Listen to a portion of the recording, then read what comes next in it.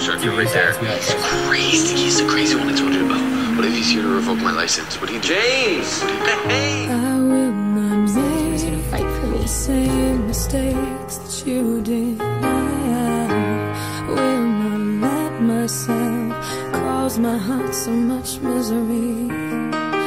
I will not break the way you did. You felt so hard. I've learned the hard way to never let it get that far.